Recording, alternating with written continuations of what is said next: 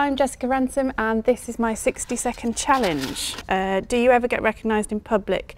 Um, not really. Uh, sometimes people look at me like, oh, do I know you?